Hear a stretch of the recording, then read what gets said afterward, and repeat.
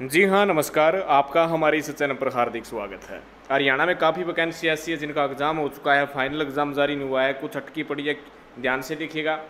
Are teaching non teaching के आठ सौ पचानवे पदों की केवल स्क्रीनिंग पेंडिंग रह चुकी है। काफ़ी लंबा इंतज़ार करते हो गया है कैंडिडेट्स को। हमारे पास फ़ोन भी कर रहे हैं कि कब आरोही का जो है फाइनली जो है ये भर्ती पूरी होगी। लेकिन अभी तक प्रशासन इसके बारे में कोई भी निर्णय नहीं ले पाया है।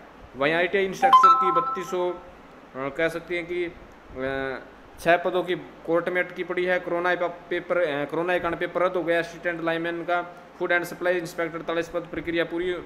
स्टाफ नर्स की भर्ती अटकी है। फायर ऑपरेटर की भर्ती अटकी है। जूनियर साइकिलिंग कोच की भर्ती अटकी है। टीजीटी फ़िज़िकल एजुकेशन की वोटिंग नोट क्लियर है।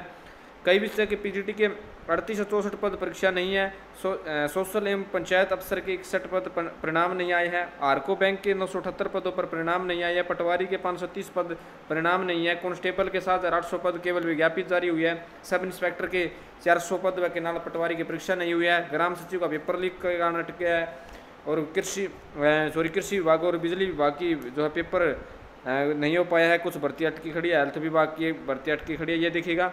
नब्बे हज़ार युवा अस्टेट पर पैसे खर्च कर रहे हैं। भर्तियाँ ही नहीं हो रही है। टीजीटी संस्कृत की कई बार विज्ञापित ली लेकिन कोई भर्ती नहीं। कृषि विभाग के एडीओ पदों पर दो हज़ार नौ से रेगुलर भर्ती नहीं।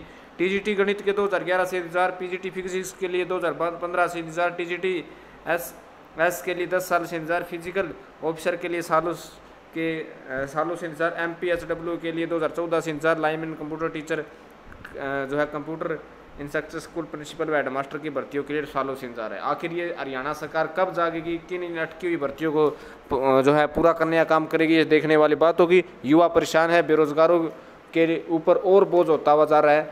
आप अपनी प्रतिक्रिया इस मुद्दे पर ज़रूर डालिएगा, चैनल को ज़रूर सब्सक्राइब कीजिएगा। धन्यवाद।